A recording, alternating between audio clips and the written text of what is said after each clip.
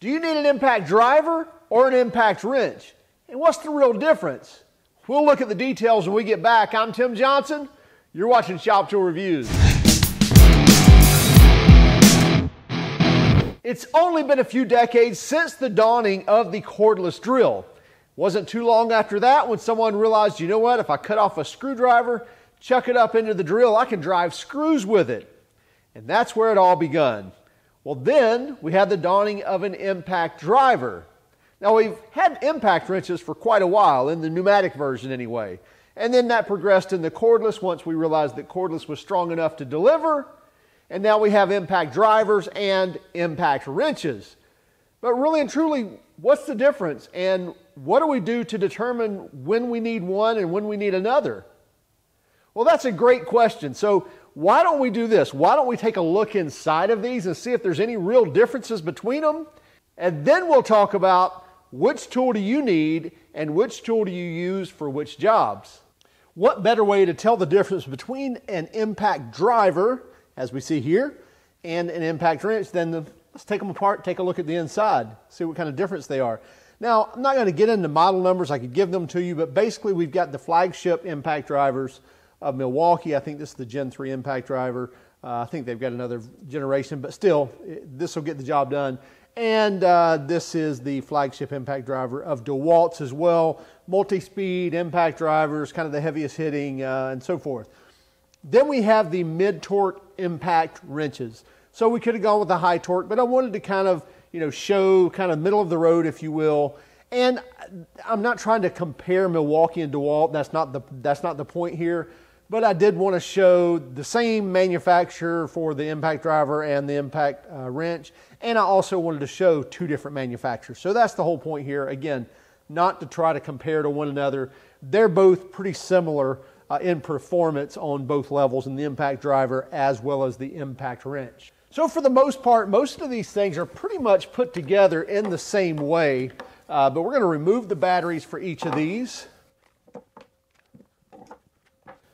I probably should have showed you that they actually work, shouldn't I? Uh, and then uh, let's take these apart. And so I'll speed this up as we take them apart. So let me take them apart and then we'll slow it back down and we'll talk about the, the parts. I do want to mention one thing about the DeWalt. If you're going to take your DeWalt impact driver and impact wrenches apart, uh, you'll have to cut the decal here or either peel it where the seam is, as well as back here. You'll need to cut it or pull, or pull it off, uh, or else, uh, as well as right here if you have a multi-speed, you have to cut it there as well, or else it's going to pull apart.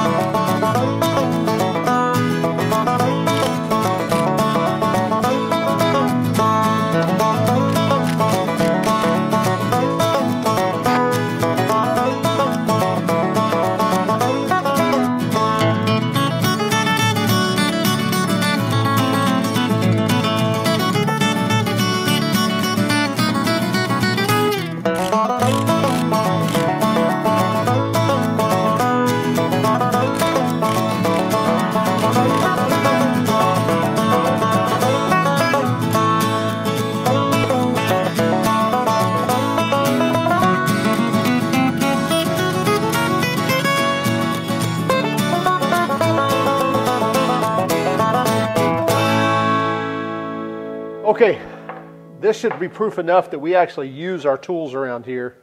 A little bit dirty in there. So we've got these apart now, so let's take a look at what the difference is in these. So I'm going to pull the, uh, you see the, the motor came, comes out of the backside of the Milwaukee Fuel. And then what we have here is the impact mechanism.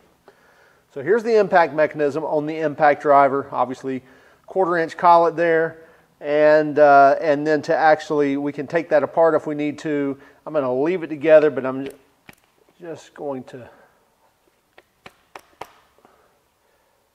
bump this a touch to get that off, and then out comes I'm going to call that the counterweight, or basically the, the weight that uh, does the hammering. And that's our planetary ring gear. And there's our planetary gear. So you got two planetary gears there to where this motor actually sits in here and turns those gears and reduces the amount of RPMs that actually turns this anvil because it turns on that ring gear. And so you're, you're getting a lot of gear reduction to develop torque and develop power going to the anvil. So lay, lay that aside for a moment and we'll look at the DeWalt. DeWalt set up a little bit different, but the same idea. You got the motor hanging off the backside here. And then this just pulls apart. And the inside here is the anvil. And here is the driving or the hammering mechanism. There's the same type of ring gear, same type of planetary gear. So you got two planetary gears, same as the same as the Milwaukee. We'll weigh those in just a moment. You can see a size difference right there. But we'll weigh those in just one moment. Uh, in here, in the impact driver, you have a that washer down there where that anvil rides on. Uh, you see it's more of a squared off anvil. It's actually a Teflon disc down there that's kind of a, uh, a, a, wear pad, if you will, for that to ride on. And then you see a, a, cased motor here. That's a brushless motor, but you see the spline drive that sits inside those planetary gears and drives those. Now, as far as the inside of the of the Milwaukee, same idea, except instead of a squared off anvil, you see you have more of an elliptical style on there uh, just something that I guess Milwaukee decides to do. And then another Teflon ring there, just like on the DeWalt, you got a Teflon ring there that it rides on. But smaller anvil uh, than, a, than an impact wrench, and you'll see in a moment.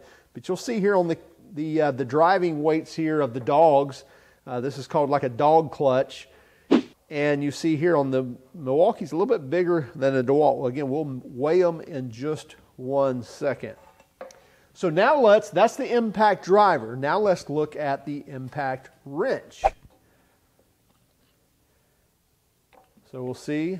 So on the front side here on the nose cone, if you will, uh, a lot of grease, which is good. We want grease in there. Um, and then the anvil here. So instead of a Teflon ring, looks like we've got an actual metallic ring. Yep, uh, of some sort, probably a hardened steel, like a washer, but acts more like a bushing. And that rides down in there so that this anvil rides against it, and that helps to eliminate any wear on the housing itself. Um, that is interesting that the uh, that the anvil itself has like a, a built-in full-size uh, disc there, and then there's the dogs, the squared-off anvil uh, that hits. And so let's take the uh, same idea here. Um, probably pull that out. There we go. So instead of two planetary gears, we get three planetary gears. Just more of a heavy duty application, uh, having those three planet- planetaries. Same idea on a transmission. Uh, when you've got planetary gears, typically the more planetaries you have, the more heavy duty of a transmission you have. Uh, but same idea, the motor goes inside there, turns these planetaries against a ring gear that's in there uh, that reduces those RPMs and develops power. Um, and you see that here's where these dogs collide against one another. And as they collide, it compresses this spring here and lets it jump out and skip over and then hit it once again. So you see those spaces in there. So as they hit, the spring collapses, lets this disc jump up and engage once again and hit once again. So that's the hammering sound on an impact wrench or impact driver that you're hearing are those colliding, those dogs colliding. Again, we'll measure those in just one moment. Let's pull the uh, let's pull the Milwaukee apart here. And by the way, this was generation one of the uh, of the mid torque. So this was the first mid torque they came out with. So once I pull that pin out,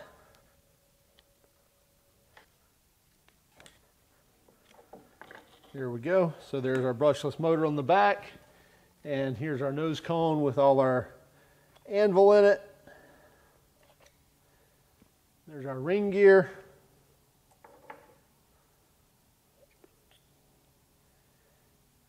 And then here's our driving weight.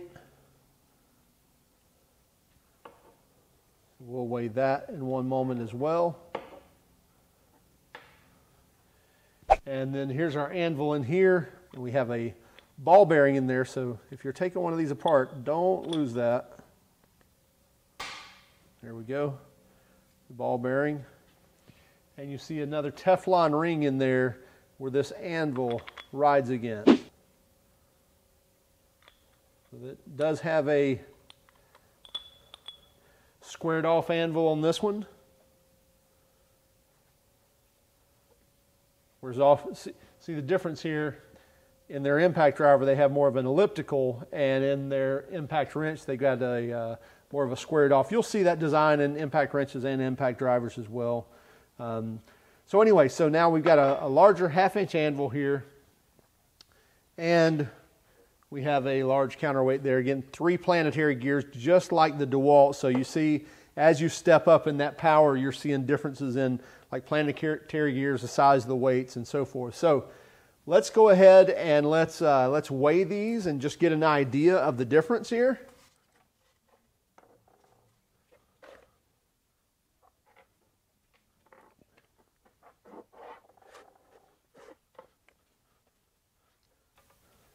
So let's start with the DeWalt Impact Driver, and I've got it on grams, looking at 225 grams. And if I go to the DeWalt Impact wrench, so 225 grams versus 425 grams. So almost doubling the weight of your driving mechanism, if you will. And then if, uh, if we look at the Milwaukee Impact driver, 255 grams.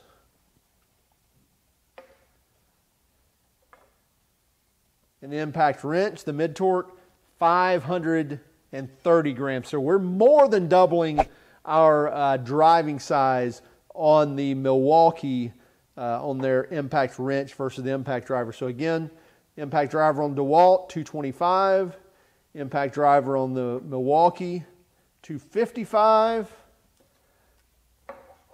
and the impact wrench on the DeWalt 425 and the impact wrench on the Milwaukee 530. So there's some of your differences there in the build uh, of an impact wrench. Really, a lot of the same mechanisms. So even though the anvil may be different, obviously we've got a half inch, or a, maybe you may even have a three eighths anvil, even a three quarter inch anvil, uh, versus a uh, you know a quarter inch hex. But as far as the driving mechanism, it's a lot the same. You have an electric motor or a cordless motor, battery powered motor, that's then driving, directly driving the planetary gears, that's then driving it around a ring, and then driving your anvil. And on the anvil, it's actually hitting. Let me do this on the Milwaukee, maybe able to show you a little better. So as this circles around and hits, as we hit, then it compresses the spring, it compresses this spring right here. I can get it to compress a little bit.